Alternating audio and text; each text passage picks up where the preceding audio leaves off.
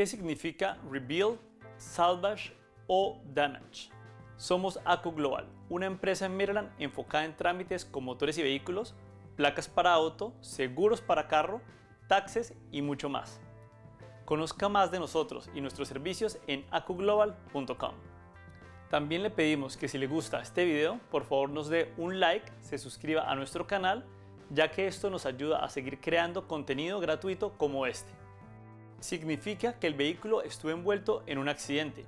Esto no significa que el vehículo esté dañado actualmente, solo significa que tiene que ser inteligente a la hora de hacer su compra.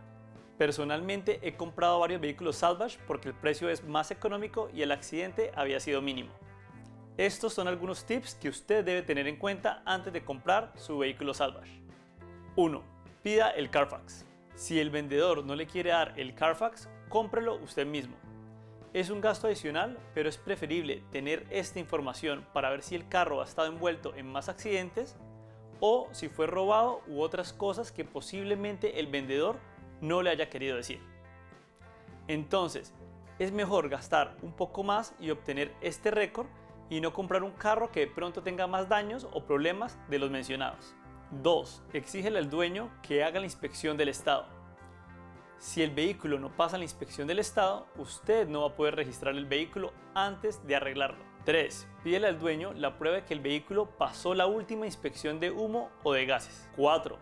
Tenga en cuenta que como está comprando un vehículo más económico, en caso de que tenga un accidente, el seguro no le va a pagar su vehículo como si fuera uno nuevo. Simplemente es un vehículo más económico. 5. Compare el precio de venta con un vehículo que nunca haya estado envuelto en un accidente. La diferencia tiene que estar alrededor de 1.000 a 3.500 dólares. Obviamente esto depende del millaje del vehículo.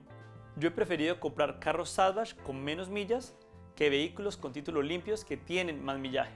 6. Asegúrese que el vehículo no tenga que pasar por la inspección del State Police, ya que esto es un proceso bastante largo y puede ser bastante costoso, aparte de que no hay ninguna garantía de que después usted pueda registrar su vehículo. 7. Use el sentido común. Si usted siente que hay algo raro, no haga la compra. 8. Lleve el vehículo a un mecánico de confianza. 9. Por último, tome esta información como una sugerencia de ninguna forma es una guía 100% garantizada para realizar una compra perfecta. Sea inteligente a la hora de hacer su compra e investigue un poco más por su cuenta. Esperamos que esta información le haya servido.